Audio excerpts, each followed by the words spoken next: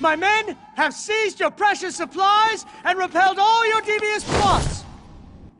Sima Yi, how long are you going to hide? If you insist upon staying put,